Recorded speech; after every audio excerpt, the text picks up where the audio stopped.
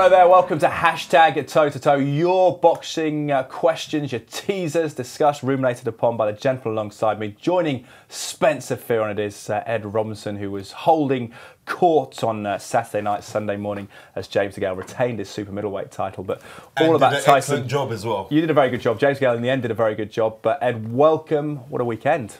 Yeah, it's amazing, isn't it? British boxing on a real high. 11 world champions for Great Britain, 12 if you include Ireland as well, with Andy Andy, Lee. Lee. who's fighting Billy Joe Saunders. So, really exciting times. Godfather asks uh, Spencer, where does this win rank? And he's talking about Tyson Fury among Brits' wins in history. He says, best win since Hatton Tszyu, which was, what, 10, 10 years ago? It was 10 years ago. Um, I don't know, because there's some really good ones. Uh, I know, like, my learned friend here, Ed Robinson, would, would say um, Napoles versus um, John H. Stracy, which was in Mexico City in 1975. But for me, Lloyd Honeyghan beating um, Donald Curry in 1986, September 1986, that's the biggest, that rakes up to for one of the biggest. stolen your thunder a bit there, Ed, by, uh, No, I have, no, I haven't. I, I passed it to say that it was Ed, but I would say no, nothing tops Sugar Ray Robinson when Sugar Ray Robinson lost um, um, to Randolph Turpin in 1951. Nothing ever was going to Yeah. top that. But yeah, I, I would say it, it ranks very, very high because nobody really expect Tyson Fury to win, especially out in Germany.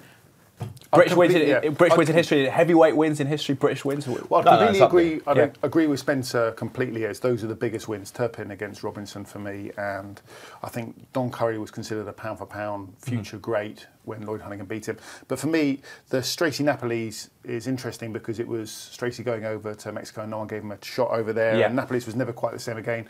McGuigan against. Pedroza, I'd say as well. 85, Big 20, fight, 30 years ago. because it was it was someone who was considered still at the top of their game. Yeah. but afterwards 19 maybe defences in Yeah, but- But that was champion. in London, I suppose. that was in. London, Yeah. Yeah. but uh, Hatton Tszyu as well because, you know, at the time I think most people thought that uh, Kostya Tszyu would knock out Ricky Hatton, but in hindsight, maybe maybe it's because Hatton threw him into retirement and beat him up so bad. But the reality is he didn't box again, and I'm not sure whether Wladimir Klitschko will box again. Best win, surprise win for a British heavyweight, do you think? Danny Williams versus Mike Tyson. Yeah, even at, That's that, to even me- that stage of Tyson's career. I don't care. Danny was something like, what was he, a 36 to 1 underdog? Yeah, Yeah. If, if you'd include Ireland, I'd say Kevin McBride beating Mike Tyson. I just still can't believe that that, that happened. It's funny that you say that. On the on the night when that fight happened, like, we was at Danny Danny Williams' house for that fight, and Danny when when Danny says, "I've got a feeling that Kevin McBride is going to beat him," Yeah. because he was saying you could see in Tyson's face that he just didn't want to be there No.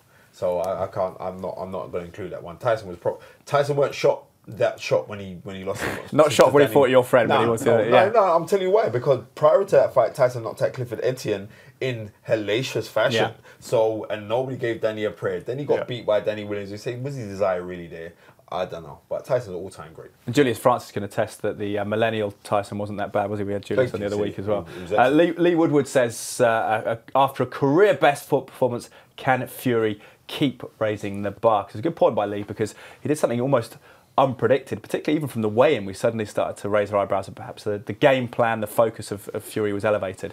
I thought he still looked a bit like an unpolished diamond, and I think there's room for improvement with him. Yeah. Even though it was a tremendous win, he, you know, he answered a lot of questions. He, he showed me that when he's been down in the past, that was a concentration problem more than a durability Mm-hmm. problem because he was It's so also been focused. by, by shorter guys as well. He's always look at all the Yeah, knockdowns. That FIFA when he knocks him over, uh, Kevin um, Cunningham when he knocks him over, right overhand rights from shorter men. That sometimes he's confidence because he's so confident. Sometimes he neglects certain things. I, I believe like uh, he, he just forgets it, and as he forgets it for the shorter guys, they can throw overhand rights when he gets caught with them. and Peter Fury in the corner definitely adds some discipline to him. Uh, How How good was his jab? Yeah, brilliant. Yeah. He was like Larry Holmes, round ten. Yeah. He was, I swear, he was like a lot of guys when they throw their jab out, like um, Ed, Ed would do this all the time. Like Ed, like we muck around with Ed, and Ed does that. he jabs from the shoulder. Yeah. loads of guys like in the, they they snatch their shots. Like Andy Joshua will throw a jab and he'll snatch it back. You watch how Tyson Fury was throwing a jab. He's throwing from the sh- from the shoulder, from the shoulder part,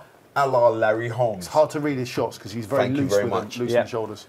Now, interested to pick up on what Lee said there about the can he raise the bar? Because he raised the bar physically in terms of conditioning, didn't he, Tyson Fury, for this one? Had lowest uh, weights in, in recent memory, and just this physical specimen that he seemed to be in the fitness. He had a lot of notice, especially with the postponement of the fight. And although he didn't throw that many punches in the fight, he was perpetual motion. And I was worried after the first two rounds because he was he was continually moving, feinting, confusing Vlad, and hmm. using his feet all the time. I was worried that you know as the rounds went on, with all the adrenaline and everything, he'd tire. But he showed a great engine. He's never going to be built like Anthony Joshua, but his No. fitness isn't really a problem. Yeah, because he's talked about gaining five or six stone between fights. It's important he, doesn't do that, is it? He, now? he does, but when we're, we're speaking about um, conditioning, I think the conditioning is more to do his his mental psyche and his belief. It was so beautiful to see prior to the, him going out to fight that you, you've got, you know, I mean, he Tyson Fury's a the advocate of Christianity, but he, his agent Asif is a Muslim, mm-hmm. and they all encompass together to pray. And once a day, one prayer, once a day, other. And he went out there and he had that belief. And I think it's that belief. When you believe in your belief so much, it becomes reality. And that's what's happened. Tyson Fury spoken so much trash over the years, right? Yeah. And we can take it now because you backed it up. And he did that. And it was, it was brilliant for British boxing. He's brilliant for boxing globally. Collective faith in the camp. Pete Higgins 100%. asks, uh, and this on the, the, the sort of uh, the spin-off from the fight, the resulting, and he, I think Tyson Fury said that he wants a bit of time to work out what he's going to do next anyway. But Peter says, uh, are you surprised that Tyson Fury, a proud fighting man, dismissed talk of facing the Bronze Bomber and Mr. David Haye, Bronze Bomber Deontay Wilder? What do you make of uh, that, Ed? Because he hasn't quite Well, dismissed. yeah, you can't say a proud Wilder yet. fighting man dismissed talk because that makes it sound as if he wasn't happy to fight David Haye. He was twice. David Haye Yeah. pulled out the fight twice. He's had his chance. He's got to earn it again. That's just simple fact.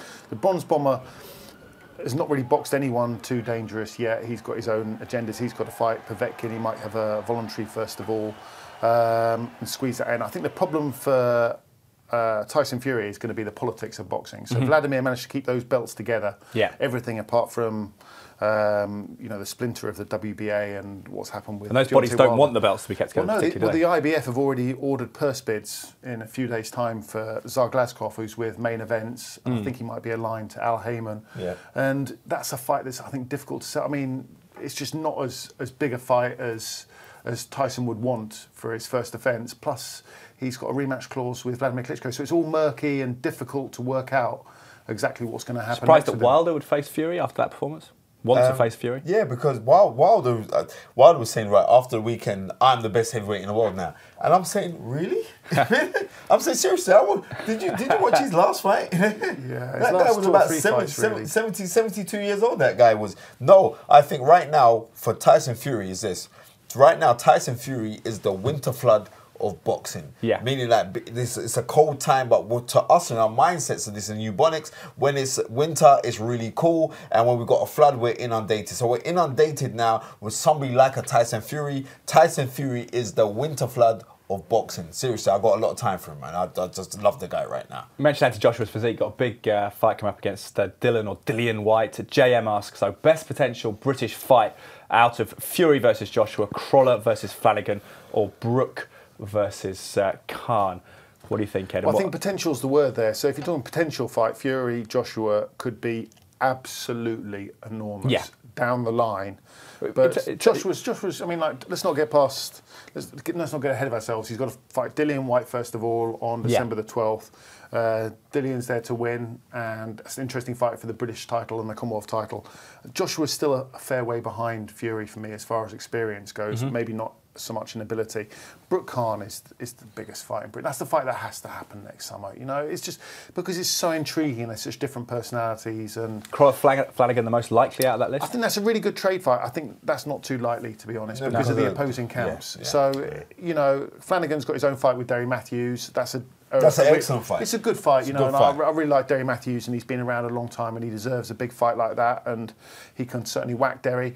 With Crolla, we'll see what happens with Kevin Mitchell and mm-hmm. whether he can win that interim version of the title. It's and the then Barboza, right? Barboza, he's, yeah. he's a very He's a big puncher. fighter. He's, he's the one that Derry basically chose not to fight for. Yeah. You know, maybe it's just because risk and reward, but he's gone his own way with Flanagan. So that's a that's a really tough fight, I think, for December Kevin 12th. Mitchell. If Kevin Mitchell wins that, then I think Kevin Mitchell against Crolla is, is the fight I'd like to see. Be very good, wouldn't it? Well, I'm, I'm, I'm saying I'd, I'd want to see um, 100%. I want to see Anthony Joshua versus uh, Tyson Fury just for the magnanimous of that fight. That fight would be so immense. With a bit of oversight, 'cause we mentioned at the top that you were working on James DeGale against Lucian Bute. We haven't really talked about it yet, which is what the subject Flace has talked about. He says, why doesn't uh, James DeGale get national publicity? He went to Bute's backyard, toughed out a good win. I just wonder if it's because of the nature of a Brit winning a heavyweight title and also the fact that James DeGale perhaps has had the highlights and the headlines before, both in 2008 and in his previous fight. Yeah, it was always going to be overshadowed the same night as Yeah. Tyson Fury because the press can only be in one place and the time of the fight as well. I don't think the first bell was till really late. was still after- late local time as well, was- wasn't it? Yeah, it was very late. You're still And tired now, aren't you? I'm still tired now, Yes, definitely. yes. But it, but what I would say is nationally he didn't generate an awful lot of press with it, but internationally he did. To win a fight like that, an exciting fight Yeah. in North America and. Uh, impress an audience out there, I think was great. He's not scared of boxing anybody at all. He's happy to go on the road. And Badou Jack's a great fight for next April. Unification It's an fight. excellent fight, and especially after on a weekend, on a weekend performance. Seriously, I, I was watching James DeGale, and I was I was a little bit perturbed Mm-hmm. because James DeGale is an excellent boxer, and all of a sudden now he was fighting like he's, He's a more crowd pleasing than he needs to be. Yeah, he's know. trying to. He's, he's over trying to do it. I'm saying, you know what? Not saying that you should go and stick. He's out winding a up too much, yeah. Yeah, he no, he was like sitting down and throwing hard, like he's throwing hard shots and he'll pause after he throws his combination. In the southpaw position, he go, he'll go like down to the body and he finish with a right hook upstairs, and he'd pause to think, right, I must have a reaction, and you should go. Well, So would you lot fear for him against Badou Jack? Yeah? Well, a lot, no, a lot of people told him beforehand that he'd walk through Lucien Yeah. Bute because Bute got exposed by Carl Froch in five rounds in Nottingham. But Bute was a good fighter. Yeah. He wasn't finished, as everyone said. I mean, Right, and I'm, I'm also like in in in his corner now. He had a wealth of experience. Uh, in Bute's corner, he had um, How, um, How, Howard Grant Hmm. and Otis Grant. A lot of people don't remember. Like, and I'm surprised that it wasn't mentioned. fought Ryan Rhodes, didn't he? He Beat fought Ryan Rhodes. He Yeah. beat Ryan Rhodes for the WBO Yeah. um, world title and fought Roy Jones. So you got a, a former world champion in your opposing corner. You got who, these guys know boxing. Yeah. So. Yeah. And Bute did administer a really good game plan. If Bute didn't throw away those first three rounds, then I could have said the fight would have been maybe it could have gone his way because of how he fought and he was on his own backyard. He was, Yeah. he was, he was, in, he was on his home turf. Mm-hmm. But no, fair play to, to James DeGale. But I'd like to see James DeGale box. I think James DeGale could box anybody's head off. He's a bit too talented for his own good because now he's trying to knock out people. Yeah, and Bute's reignited his career as well, which is good for uh, the 35-year-old Romanian come Canadian. Mark Farrell, final question. Apparently, Ed, because I don't watch it on uh, Celebrity, Yes, get me out of here. Don't well, lie. You, well, you told me about it. Uh, apparently, uh, Chris Eubank Senior, or English as he's now known, uh, is uh, accepting terms or accepting the pros- prospect of fighting Nigel Well, Bennett on his not exactly. conditions. I did. I did watch it. I did watch it. Uh, but Mark Farrell says, do we need another fight between these two? Ant and Dec kind of put um, Eubank on the spot. I can't believe I'm having this conversation. put Eubank on the spot a little bit about the So Nigel did you Benn watch it last night? I watched it, yeah, of course, with, the- with the missus at home. And it is, uh, you know, there's been back and forth between Benn and Eubank, but we just Yeah. don't want to see it. You know, in golf you can have a seniors tour. You can't really have a seniors tour in boxing. 50-year-old boxers they- in the ring, The that- second, the second fight they had was too late. It should have been sooner after the first Yeah, fight. that was three years after they fought. Originally, their first their first fight was November 1990. The second fight was was October 1993. We don't want to see that fight. And No. seriously, I'm not saying it for because why would you want to to to, to kind of ruffle your, your places in history, your legacy, yeah. right? And and take your yeah, and that's what that's what would happen. I wouldn't want to see that fight at all. If they think it was letting them do it in arm wrestling or something, Senior you know, tours of boxing Yeah, would be thank you. I, I, I'm I not wouldn't sure want to see about that fight. Two great legends. Ed, pleasure having you back on Good the be uh, hashtag Thank toe to for toe. having me. Spencer, as always, uh, remember back next week. Uh, get your questions in on Tuesday. We discuss them Wednesday. Check out the audio podcast as well at skysports.com slash boxing. Also available on iTunes.